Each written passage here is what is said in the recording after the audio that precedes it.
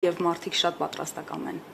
Իսկ իրենք առաջարկություններով հանդես գալիս են, որ այ կենտրոնը գործելու պարագայում լավ կլիներ, այս հաշվի առնեք, այն հաշվի առնեք։ Իհարկե, իհարկե, դա շատ կարեւոր է եւ նրանց ֆիդբեքն էլ է շատ կարեւոր։ Մենք միշտ էլ ինչ որ հարցումներ անում ենք հայրենադարձների հետ, մեր գործընկերների, օրինակ Repat Armenia-ի հետ շատ սերտ համագործությամբ Repat Armenian ունի շատ լավ ակտիվ Facebook group, որտեղ մոտ 10000-ից ավել հայրենադարձներ կան գրանցված եւ ուղակի հետևելով edge-ին շատ հստակ է դառնում, թե ինչ խնդիրներ մարդիկ ունեն եւ ինչով կարող ենք մենք նրանց օգնել։ Խոսեցինք Հայաստանով հետաքրքրվածների մասին, կասեք վերջին 1 տարվա կամ 2 տարվա միտումներն ինչպիսին են, որ երկրներից են ավելի շատ հետաքրքրվում եւ ունեք այդ հետադարձ կապը, գալիս են թե դեռ հետաքրքրվածության փուլում են միտում մեծամասնությունը Լիբանան Լիբանանից են վերջի երկու տարվա ընթացքում Ռուսաստանի Դաշնությունից են Իրանից, Պարսկաստանից են շատ դիմողներ լինում Վրաստանից էլ նաև կան ԱՄՆ-ից եւ Ֆրանսիայից դա մեծամասնությունն է որը հասկանալի է որտեվ նաև այնտեղ գտնվում են մեր ամենամեծ համայնքները հայկական կապը շարունակական է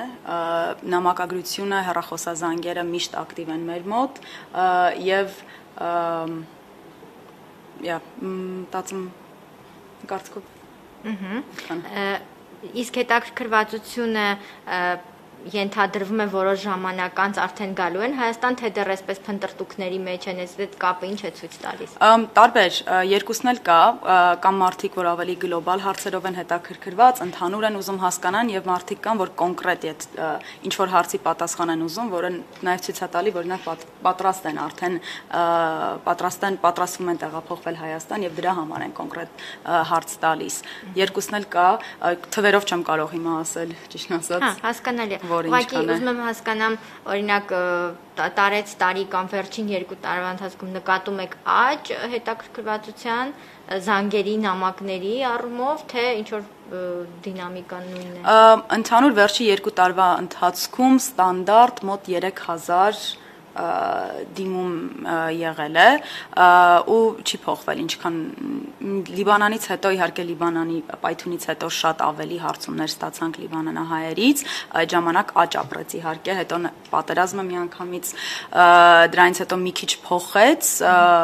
բայց ելի հարցումները հատկապես Լիբանանից շարունակվում են տարեկան 3000-ի մասին է խոսքը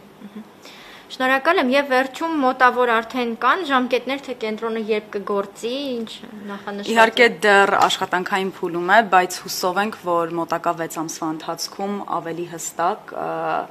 պատասխան կունենանք եւ իմ կարծիքով մոտակա 6 ամսվա ընթացքում մենք կարողանանք կենտրոնը բացել։ Այսինքն այս տարվա ընթացքում սպասվում է ամեն Այո, այս տարվա ընթացքում սպասվում է։ Եղավ շնորհակալ եմ շատ ձեր գործերին հաջողություն։ Շնորհակալություն։ Վարտենք։